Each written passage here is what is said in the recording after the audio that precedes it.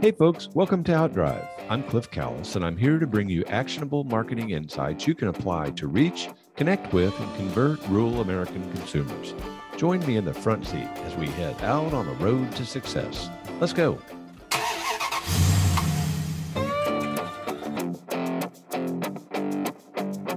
that's really part of my focus uh, focused on our strategy in our food and beverage market but uh, being well read attending conferences having that external perspective you know that you, you got to have a radar. You got to understand you know what's going on around you and then how do you pivot left or right to be ready for some of those changes?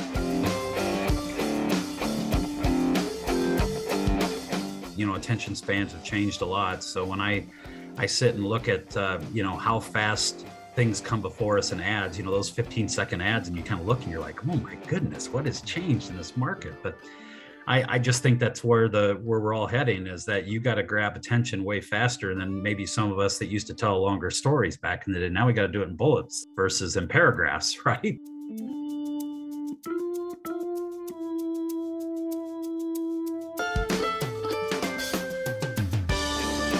Be proud where you're from, right? As we talked earlier about innovation and things that take place in the Midwest, and you know, I as I spend time across America, I think folks are probably realizing when they do visit, uh, you know, rural parts of America that uh, there's something wholesome, and so we, we should be unapologetic about where we're from.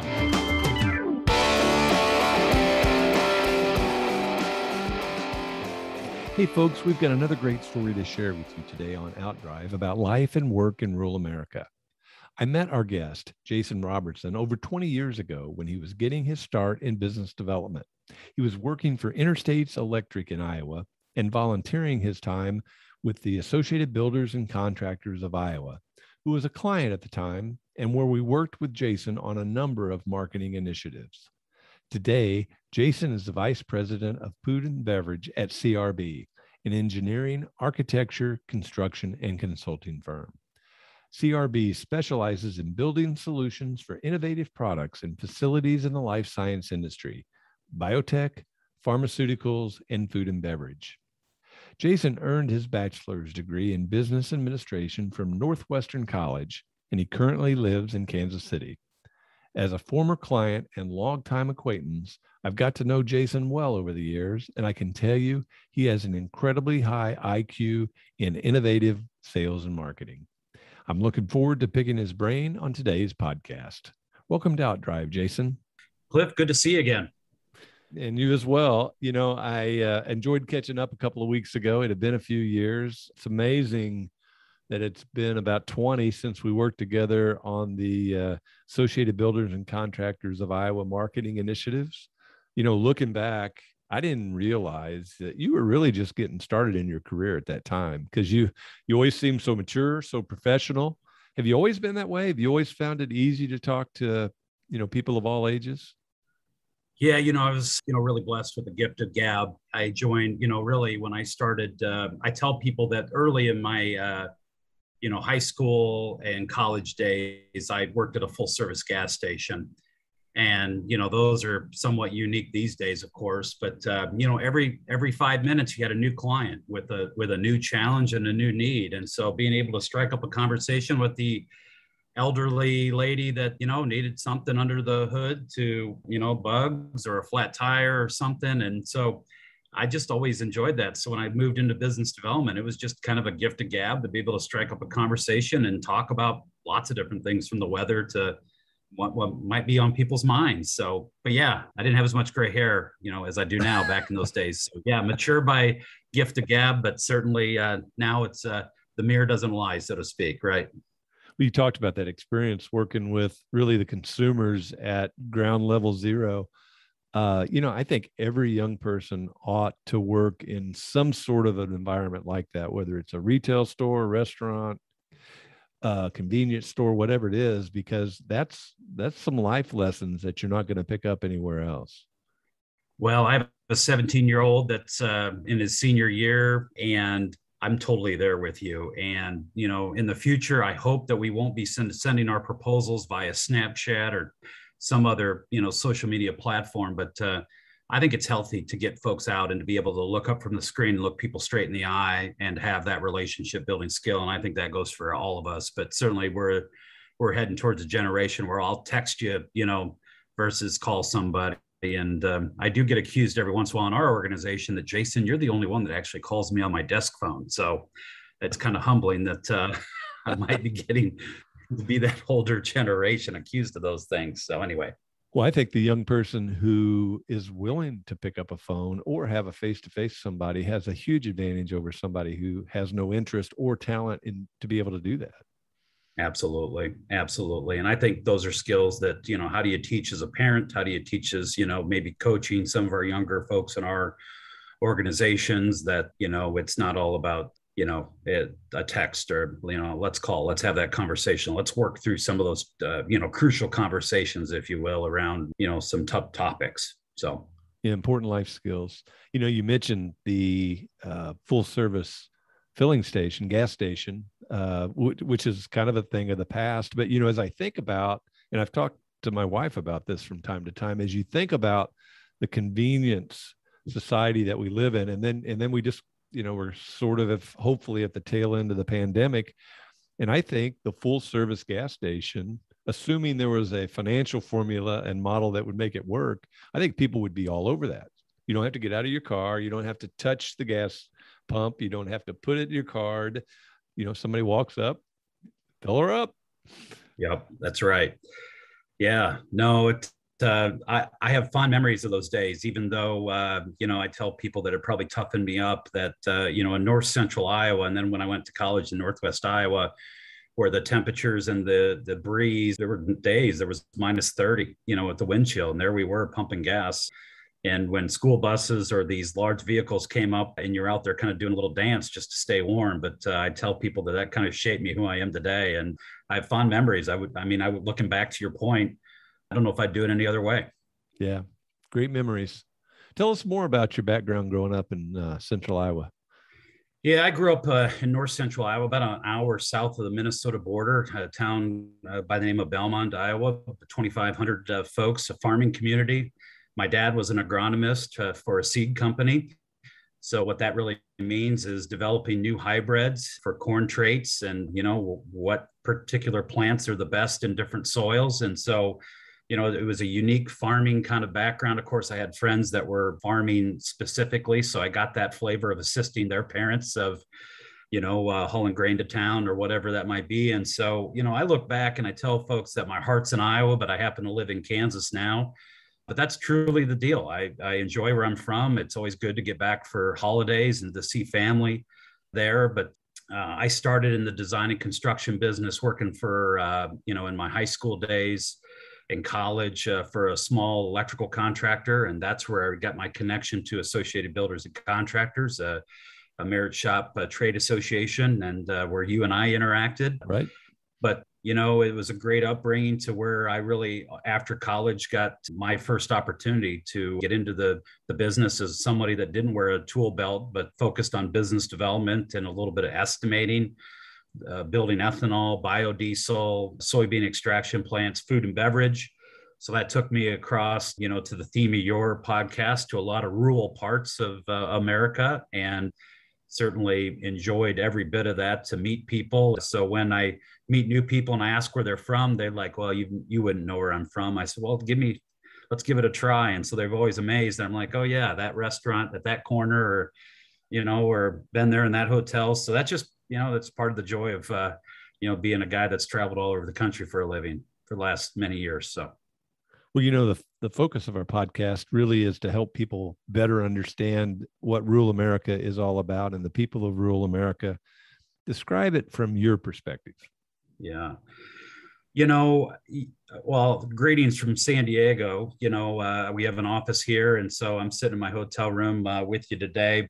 I think what's unique about rural America is the innovation, the work ethic uh, that takes place. And I saw it in my small town. I see it in in a lot of places uh, across rural America. And so, for those that might, uh, you know the generations that feel like they have to go to new york and you know la to succeed you know i would I'd, I'd, love to have conversations with them about that because i could have easily done that but i see that there's rewarding opportunity in the midwest uh, the the people you know i was at you know kind of a happy hour last night with colleagues of our san diego office and they were comparing the price per square foot of homes and they were at $625 a square foot for what their homes were and you know if you look at kansas city it's probably in that two to three, you know, three range, or you know, it varies, but much right. different. And so you think, well, if you work hard and you know you have rewarding opportunities in the Midwest or anywhere in rural America for that matter, you know, why do you need to get distracted by you know the the bright city lights, if you will? And so, like I said, I've always appreciated my upbringing, and uh, you know, when uh, you have colleagues that join us in meetings in the Midwest it's always interesting when they say, man, people say hello to us and they're so uh, pleasant to be around. And I think that's what, you know, that's what it's all about is, you know, that golden rule. And, and that's what kept me in the Midwest and, and why I enjoy, you know, learning what people's stories are and what I do for a living and building relationships. Well, you, you know, when we talked a couple weeks ago and we were kind of catching up, you talked about how a lot of the projects that you guys work on are, you know, I guess greenfield projects out in rural America, right? In many cases. So, you know, CRB focuses on uh, the biotech, food and beverage, business, science, and technology, designing and building vaccines. And, and you know, I'm focused on leading our food and beverage uh, segment. So, yes, absolutely. In our food and beverage case, uh, those jobs are generally generated by where the feedstock or the, you know, but we'll see things on the coast as well but yeah, we will find ourselves in rural America, you know, staying at small town USA hotels from a greenfield construction perspective, where you find some of those food and beverage plants as uh, north to south, east to west. When you talked about innovation earlier, and I, I agree with you wholeheartedly, there is so much innovation, you know, really across the country, but certainly out in rural America. And I know that you guys are uh, partnering with some pretty innovative people. Talk a little bit about those experiences? Yeah. So, so our life science business was very unique that, you know, CRB's roots is started in life sciences. So helping clients really scale from bench to commercial scale. Uh, a lot of the technologies you'll find in, in the pharmacy or, you know, in an ER, for instance.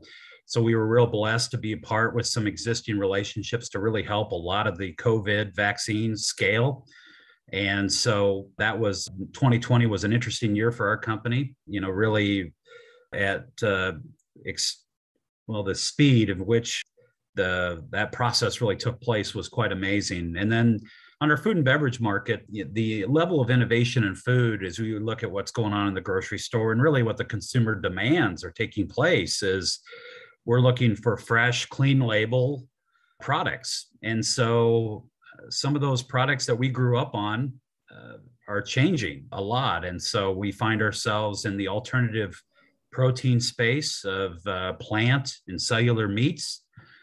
You know, it's just uh, helping folks that uh, might have an alternative kind of uh, protein desire in their, their diet.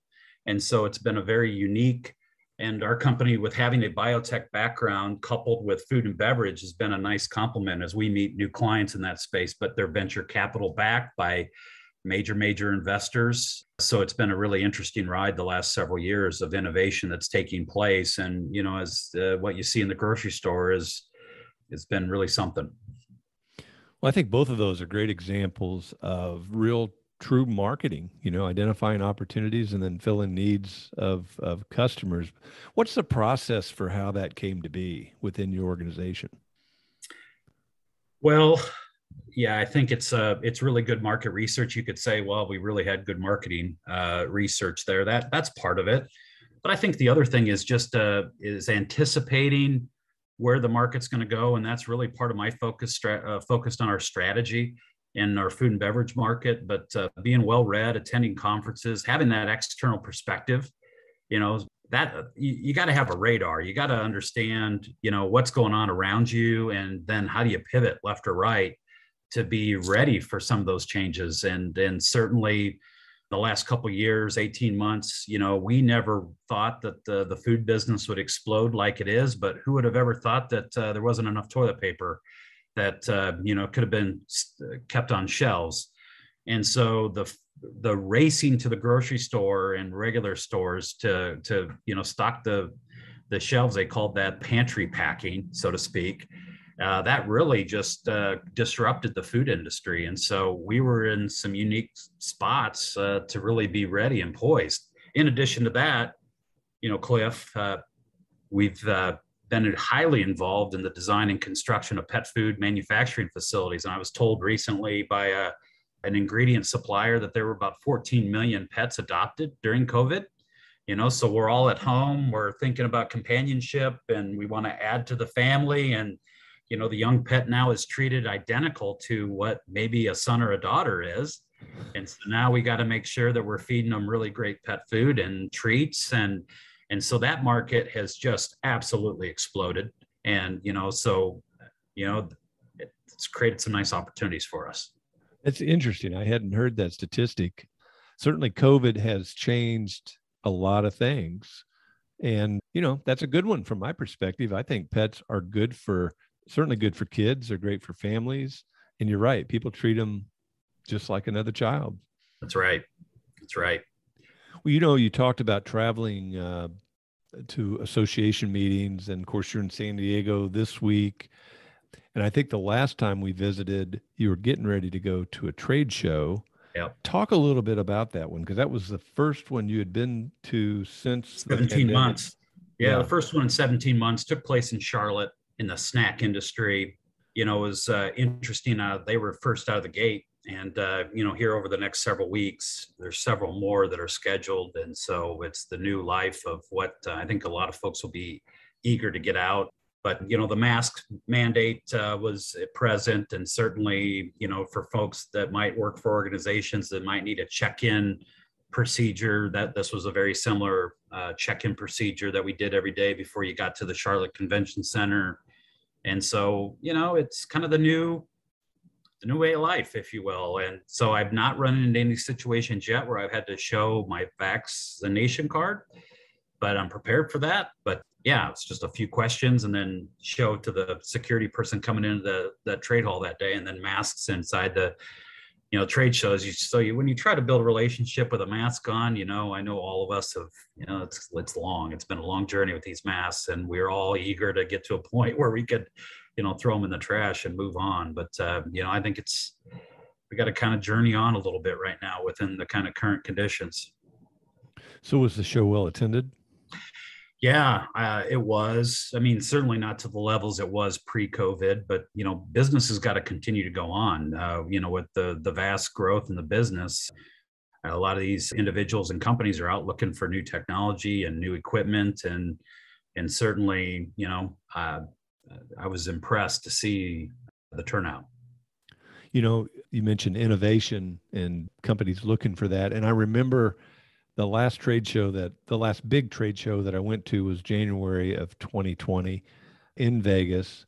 And I noted because I did sort of a debrief article about it for our agency library that innovation was the thing that was driving new business. You could just you could walk around the trade show and the people that had innovative products and services had people at their booths and the ones that didn't didn't. And uh, I think that's going to be even more prevalent now. Absolutely. No, it uh, and it's it. I think it's happening at a quicker pace. You know, I think the um, the adaptation of Zoom and Teams as our company, we we were spread out with 20 offices around the globe. Zoom and Teams was not a new thing to us. So, you know, the way we charged into that and tackled some of those challenges as we grew, and I think many other companies are probably like, you know, we you can accomplish things by Zoom and, and Teams. You just got to learn to adapt and and and uh, be engaged. And so, I often joke, pre-COVID, you know, I'd sit on airplanes and I'd see the duct tape on top of the camera, and you could, you know, yeah, you could judge very quickly the level of engagement of you know the people that wanted to be on calls. For now, I think you got to clean the duct tape off your camera because the last 18 months or whatever it's been, you know, to, you've had to be a little more present So yeah, rip the band-aid off. You're on Right? there. yeah, You know, uh, I, I really have always admired your sales professionalism. What kind of advice would you give to somebody who's planning for a trade show? How do you guys prepare for a trade show from a sales perspective? Yeah, well, I was just on a call this morning about that very topic as we look at the next several weeks. With, uh, for some reason in our industry, all the shows got canceled and pushed out to September, October. So it's going to be a very busy next six uh, six weeks or so. But um, you know, I would think that you know, being being open minded, you know, and being prepared and, and meeting people where they are. I have certainly strong opinions about this whole thing and how it, but you know, if there's a mask on with somebody and you meet, uh, you know, certainly meeting where they are to to to reduce the stress and some of that. I've noticed even you know shaking of hands or the fist pumps, whatever that might be at our trade show booth specifically, having you know some of the hand sanitizer you know, there where folks feel like they can, you know, no different than a grocery store when wiping the cart or uh, just having it present. You know, the other thing, both of us having backgrounds in marketing and business development, the other thing that uh, we did was let's not take a bunch of paper and materials in that booth. Let's have a QR code where folks can engage us at a different level on their phone. And since we're all used to ordering our, our restaurant, uh, seeing our restaurant menus, you know that qr code kind of came back to popularity and being used. And so we did that for that show had a little stand. And so now you can interact hit our website maybe you know uh, plug in with your information to opt in and some of our material. So i think that was another novel idea that our team came up with. So those are some things that you know that probably come to mind cliff. Yeah, those are great. Those are great ideas specific to trade shows. What other kinds of sales and marketing strategies are, are you using that you can share with us in your business that are that are generating a solid ROI? Yeah, yeah. For us, it's what we've found in the last several years. We've really doubled down on our investment in thought leadership. So I have a dedicated person within our market that uh, thinks about how are we out telling our story and engaging. The the days of just having a, a static website are gone, as we all know. But, but uh, you got to have a reason to continue to invite people back. Mhm. You know, if you follow us on LinkedIn or me personally to see on Twitter what I'm uh, you know talking about is that we've really tried to position our subject matter experts in our business to be out creating a conversation around you know key trends and uh, what's going on in the industry and so whether that's by video or being interviewed with trade publications or doing our own blogs. That has really been successful and uh, you know we're our food business isn't necessarily in the, the the top segment of market share but we're moving there quickly. But now we're trying to you know really position ourselves as ways to be thought of and to create a conversation and when i my competitors have called me and said boy i can tell what you guys are up to and it's very impressive. I've known that they're taking notice. And so that that's been that's probably been one that's been really successful. Yeah, I think on the B2B side, if you're not doing thought leadership, content marketing right now, you're really missing the boat because there's so many good reasons to do it. Positioning yourself as an expert, uh, getting the opportunity to to put content out there that you know your prospects are going to be interested in because they're searching for it. Your you know your search research shows that. I, just really think it's it's right on target for where we are today. and you know give you a little call out here i think podcasts you know as you're driving down the road you know this is a nice way to you know i think as we all look at our the podcast downloads i just did that as i prepare for an afternoon flight going home making sure that this is also a great way to you know pick up knowledge and hear what others are doing in the industry and so kudos to you for what you're doing uh, with this content as well Well, thank you. I appreciate that. We we get some good feedback, and uh, we're having a good time, and get to reconnect with people like you. You'll have Right. to uh, be sure to download our most recent one on the wine industry in Missouri. Nice Really, uh, really interesting conversation with the executive director of the Missouri Wine and Grape Board, Jim Anderson. Good communicator, but he knows a lot about wine, and and he kind of leads uh, Missouri's efforts in the wine industry. So if Very you don't have that one loaded up, absolutely you still have time to do that. Well, and that's the thing that kind of gets frustrating. If you get on the plane, you don't have those downloaded, you're like, okay, what am I going to do? So I thought today I'm going to get out ahead of that, make sure these are all refreshed. So anyway, You're a good planner. Always have been.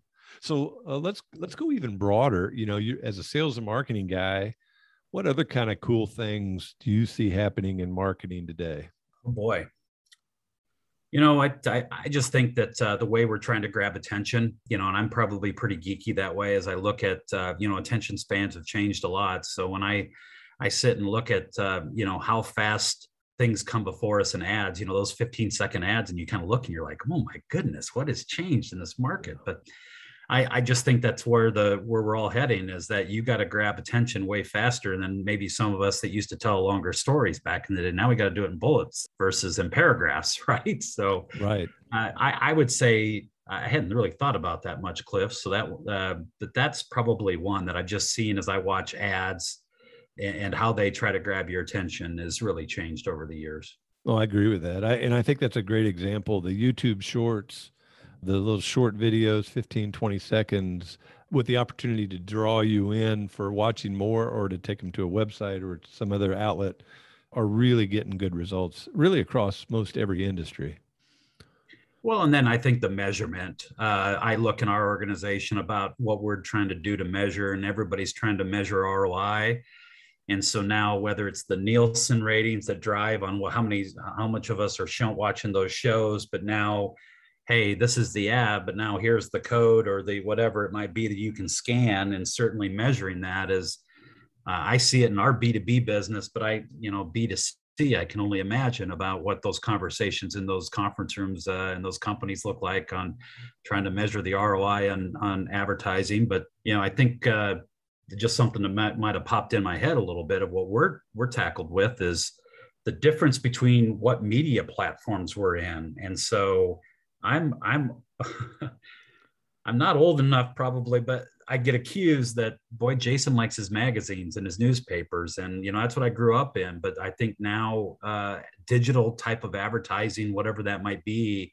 compared to the older days of uh, you know we got to run a full page ad for that particular trade and you know publication. I think that's probably another one that just comes to mind that uh, love to share and and, and where the spend goes and how we've even said that we really aren't really much into print as much as we used to be and we're all going digital so yeah and, and there's no question about it and I, and I think a lot of what is driving that is the ability to target so well to first segment but then target but then be able to measure and prove you know we we have other research that shows that magazines and other print materials are still effective right you know uh, which is good and bad. Good in that, oh, you have all these other vehicles that you can use to reach your audience, but bad in that you can't use them all. So you got to prioritize. And and what we have seen more and more, and we see it every year as we watch our uh, annual media buys, it's more and more going digital. And yet there is still the customer that wants to sit down in the chair and look through a magazine. And you know, just think about your think about your mailbox you still get catalogs, right? And I think the strategy is a little different in that you get the catalogs to drive you to a website where then you can then do your shopping and do your buying.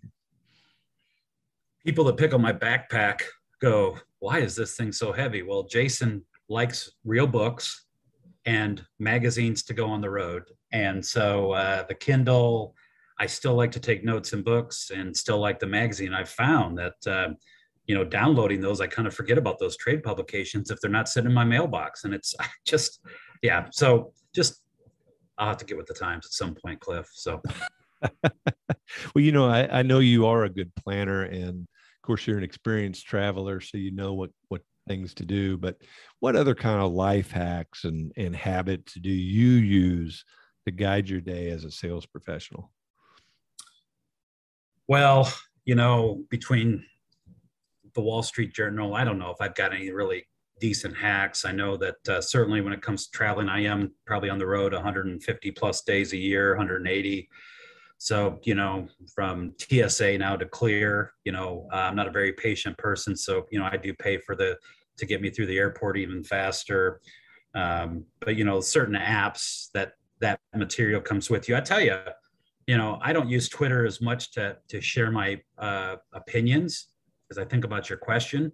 But what I really enjoy about Twitter is that my market research that comes to my front door, if you will, Uh, I can do that scrolling uh, on the back patio at night. You know, I can do that wherever that might be, where I'm tracking day to day information. Where we, you know, you think about the information lag of year of you know many years ago, you'd have to wait for that periodical to come out weekly, daily, whatever it might be. And so, I would think that that's probably one that I've always enjoyed following different uh, to really track what's going on in the pace and you know the of the market. So that that would be probably one that uh, probably specifically i'm less interested in sharing my opinions versus just tracking what's going on so. Yeah well that's a good one that's a good one. Hey i've enjoyed visiting with you today. Uh, i've been looking forward to our conversation. What else would you like to share with our outdrive audience that you think they might find interesting or or beneficial in their personal or professional life? Well i you know i i thought about that and at the end of the day it's where be proud where you're from right? As we talked earlier about innovation and things that take place in the Midwest. And, you know, I, as I spend time across America, I think folks are probably realizing when they do visit, uh, you know, rural parts of America that uh, there's something wholesome. And so we, we should be unapologetic about where we're from. And, uh, you know, and just want to encourage people that, that uh, there's good things going on and, you know, neighbors looking out for one another and taking care of, uh, you know, family and friends is an important deal. And so, uh, that's probably one that uh, you know just to maybe reassure folks that maybe from somebody that gets to different parts of the country so. Amen brother. Amen. Jason great talking to you. Absolutely. Appreciate it. Folks thanks for listening to outdrive. I hope you've enjoyed our visit today with jason robertson vice president of food and beverage at crb come back again next week and i'll take you down the roads of rural america where it's heaven on earth Thanks for taking a ride with us on Outdrive. This episode is complete, so head on over to ecalis.com for show notes and more insight you can apply to help drive your business growth. And be sure to sign up for our free monthly e letter, Outthink, for even more helpful content about marketing to rural America. Have a great day and keep on driving.